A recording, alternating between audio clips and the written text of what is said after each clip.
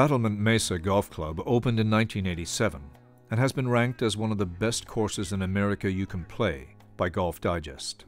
The routing takes full advantage of our one of a kind setting, a high plains plateau overlooking the Colorado River. The golf course, designed by Joe Finger and Ken Dye, offers a traditional layout on land that is anything but traditional. The front nine rests in a valley in the mesa and has a few more trees than the back nine. The back nine at Battlement Mesa is nearly devoid of trees and offers a true high desert experience on a mesa overlooking the Colorado River. While the vistas are more open, the final nine holes are just as demanding in terms of accuracy thanks to the presence of the river.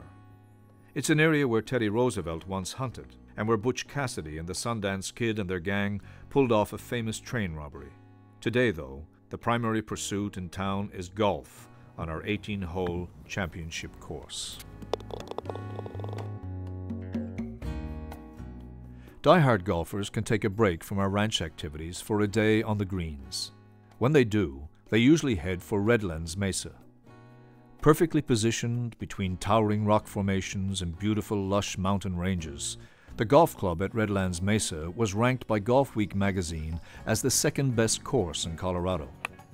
The incredibly unique landscape and moderate four seasons climate allow golfers to drive, chip, and putt nearly 12 months a year.